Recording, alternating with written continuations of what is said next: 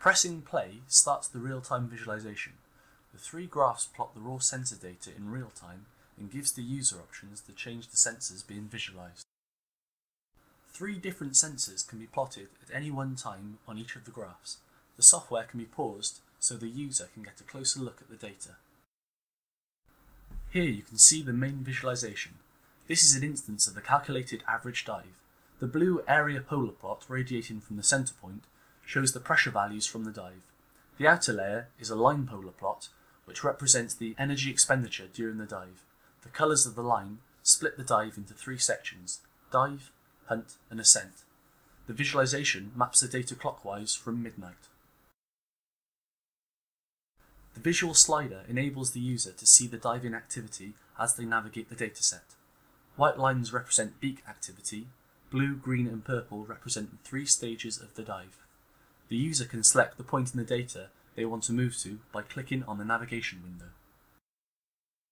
Alternatively, the user can select the Next Dive or Previous Dive buttons to directly skip to the next or previous dive activity. When the software enters a dive, the visualization instance will appear next to the average dive. The size of the visualization is mapped so that the largest dive in the set will span a full circle. The red line shows the progress through the dive so that the user can compare it against the average dive and the raw data graphs. The temperature gauge also appears as a legend to show the current temperature of the dive and updates in real time. Below is a 3D representation of the accelerometer data. The points are plotted in three dimensions and the user can rotate the scene by clicking and dragging the sphere. The legend labels the axes and also gives a time frame to the points plotted. The newest data points are plotted in red and fade to yellow over time.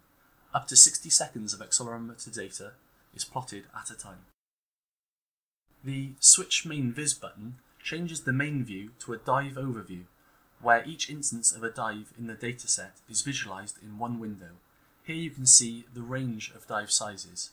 The red dot shows the current dive so that the user can navigate through the set using the next dive buttons.